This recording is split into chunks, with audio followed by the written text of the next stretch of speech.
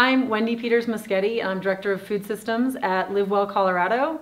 And I'm with Dwayne Wharton, who is the um, Director of External Affairs from Hello. the Food Trust, which is based out of Philadelphia, Pennsylvania.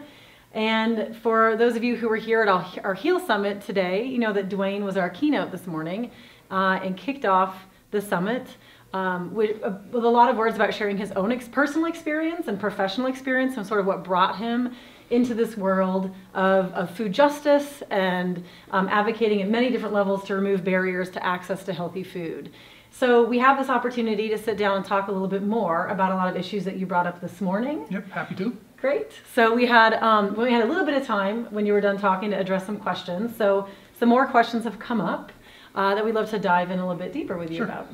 So um, a first sort of set of questions that I'm really curious to hear more from your perspective about kind of fall into this bucket of sort of restriction and regulation mm-hmm. and issues I think of that people don't like to talk about a lot because people like to talk about how do we promote access to healthy food and how do we incentivize new grocery stores Correct. and how do we bring in farmers markets and one thing that you brought up is you brought up a couple things you brought up food swamps so mm-hmm. this notion of having sort of this overabundance mm-hmm. of less healthy sort of food environments mm-hmm. corner stores and liquor stores and convenience stores and you also brought up soda taxes. Yep. And so issues that bring to mind a lot of like, how do we and when do we and if do we do actually restrict or regulate parts of our food environment that may not be as health promoting. So some questions that came up specifically were about the soda taxes that you brought up that mm-hmm. have passed in Philadelphia itself. So some questions were, were about um, can you talk about soda taxes as an anti-poverty measure? Yep. And as a follow-up, talk about how do you respond to the argument that these taxes might be regressive? Yeah.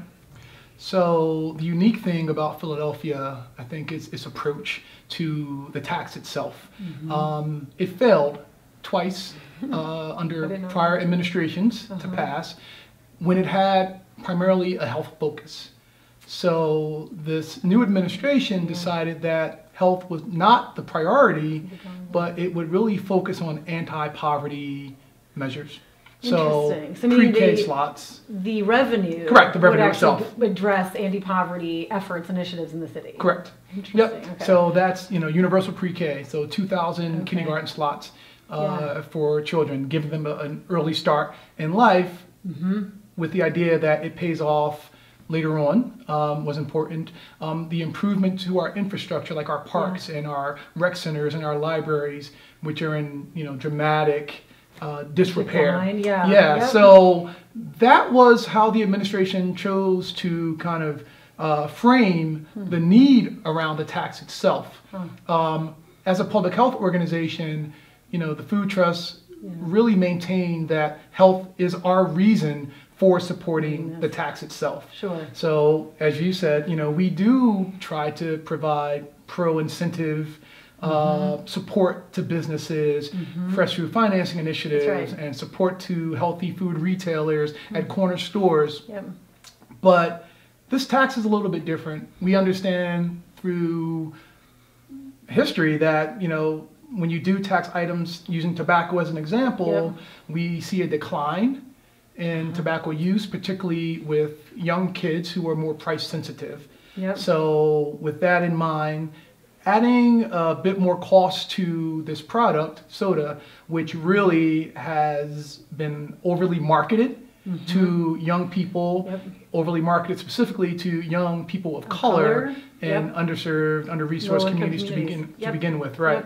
So we, you know, decided that we were going to support mm-hmm. this measure solely to try to improve health, to get these kids to mm-hmm. drink less soda. Mm-hmm. But also, we looked at the revenue that would fund pre K as being an excellent opportunity yep. to improve yep. long term health. Absolutely. You're channeling that right back into prevention. Correct. Right? So by the time they're teenagers, they have that foundation, so they're making different choices perhaps anyway. Right. Yeah. But to understand this also is that there are lots of complementary efforts that were in place in Philadelphia. So for a decade, we had Mm. Been already working with food retailers to help them sell healthier items and healthier nice. beverages. Absolutely. So when the tax, you know, was Mhm. enacted, we felt the need to double down in those efforts to help them mitigate their Mm-hmm. Yeah. fear of loss of revenue. Absolutely. Say we're here from you, as- and you had that foundation, Correct. years of relationships. So it wasn't just like this coalition coming in saying, "We're going to implement this tax. You, we know it's going to hurt your revenue, but Right. trust me, it's going to be okay." You Right. had years of relationships with saying, "We're here to support you. We're doing all these Right. other issues." Well, it's interesting that the data is coming out that it isn't necessarily hurting revenue. So soda sales are down, Uh-huh. um, and there's some questions around that and whether or not it's going to kind of meet its fiscal goal to fund Yeah. the programs that it's intended to fund. Uh-huh. But sales in stores are not down. So they're selling more There's water, they're selling more juices. Yep. Right. So that's what we're seeing. Yeah. Um, Yeah. so that's uh, Yeah. something that we'll continue to explore. And have you seen then a coalition of these stores and retailers sort of come on board and be advocates for this work as well? Or are we Hmm. not there yet? We're not there yet. Okay. Um, there are a few who have really um, been champions for this issue for health reasons, Mm-hmm. for just wanting to become, you know, a, a, a business that is more sustainable. Not only for their fiscal health, but for the health of their communities, because these Mm-hmm. customers need to stay Yeah, around, absolutely. but continue to be customers. yep. So we've had and some. store owners that live in these communities. Correct, and they do Yeah. care, right? Yep, yeah. So we have we've had we've Yeah. had a few, um, but I think that uh, there's been a lot of backlash from some businesses and from the beverage industry around this. Um, you know, but we're holding holding strong. Mm-hmm.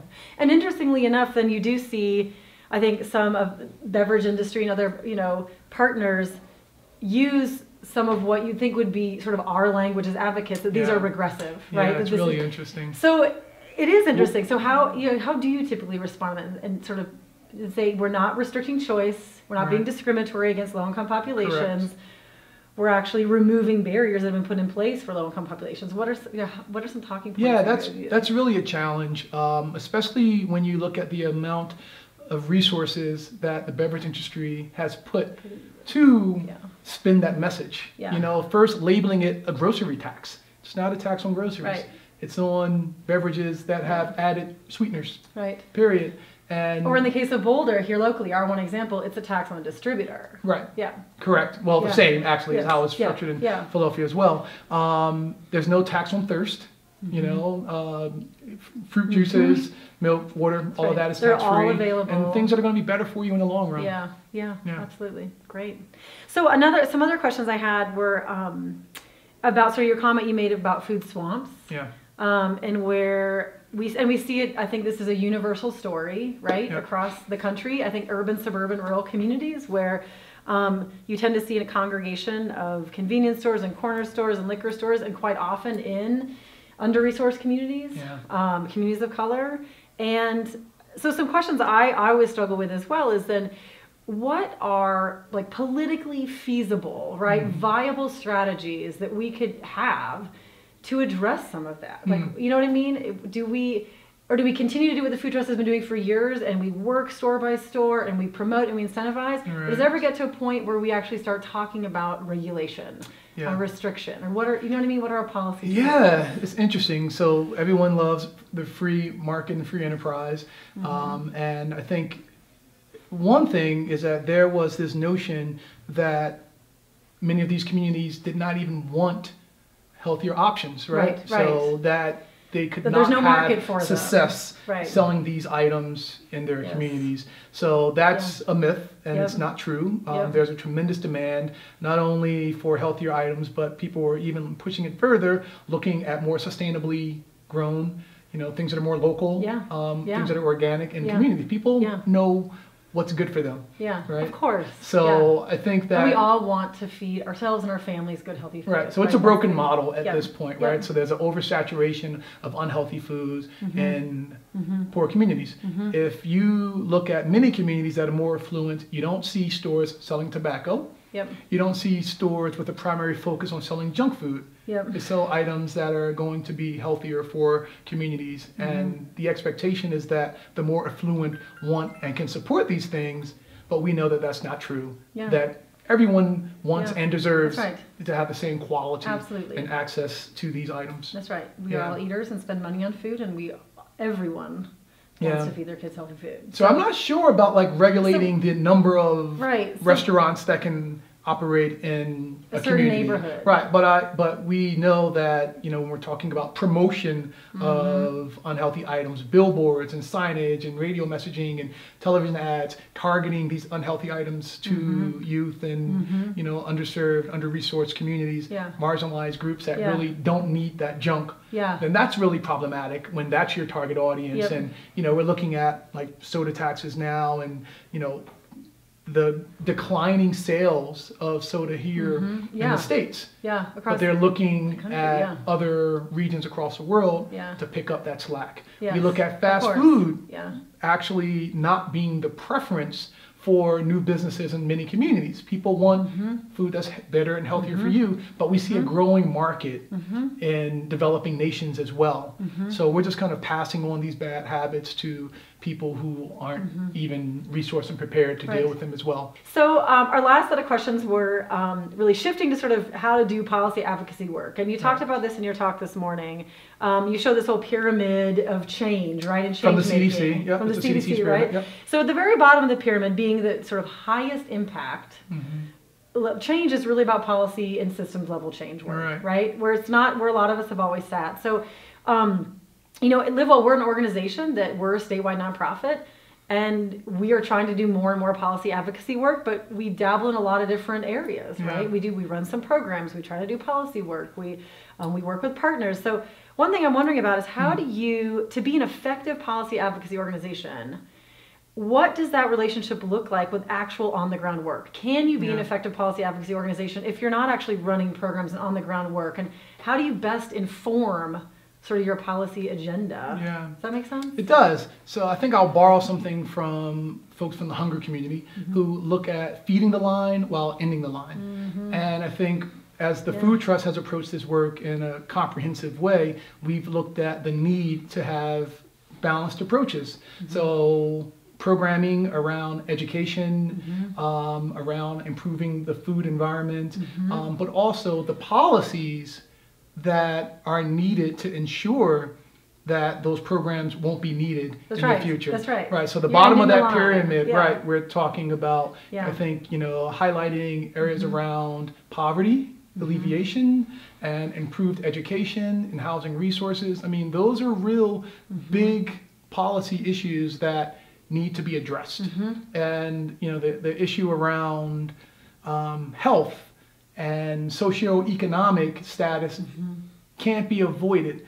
And until we improve people's conditions in life, then we're not going to move the needle on their health. Yeah. So fair wages are so important, adequate housing, access to medical care, Yeah. like all those things, as well as increasing access to healthy food Sure. and physical activity.